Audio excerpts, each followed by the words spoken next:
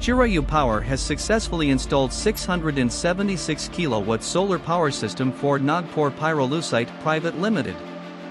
Nagpur Pyrolusite and its parent company Sunjay Industries are into manufacturing of manganese dioxide.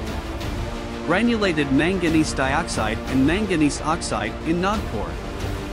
This 676 kilowatt is a ground-mounted solar solution which is spread in 68,000 square feet area. For this project, Chirayu Power Private Limited has used Jinko Solar's 545 watt peak half cut panels and SolarEdge optimization technology. It is observed that there is a lot of wind pressure at the site. Being an open land of more than 100 acres, there is no specific resistance for the wind. Hence, Chirayu Power designed double-column galvanized structure for maximum strength. Also, below each panel, three purlins are used instead of two purlins to provide excellent stability. The project is designed to sustain a wind velocity of 170 km per hour.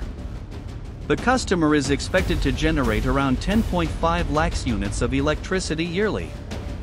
Looking at the performance and skills of Chirayu Power, the client is not extending the solar project to 1 megawatt.